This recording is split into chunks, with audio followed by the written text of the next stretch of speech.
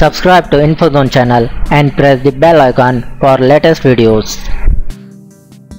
Hey guys, welcome back to my channel.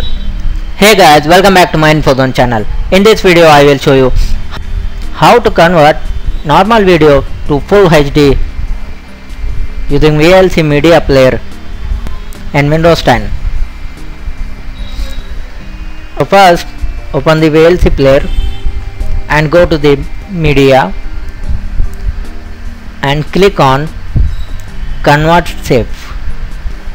And here click on add and choose any video and and select the video which you want to full and next click on convert. And here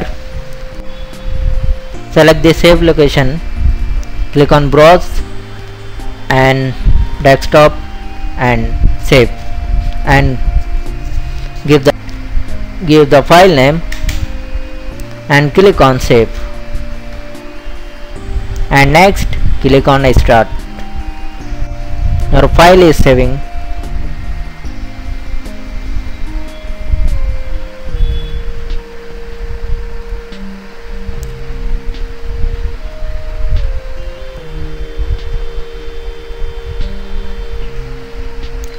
so now minimize and see here your new full HD video on desktop.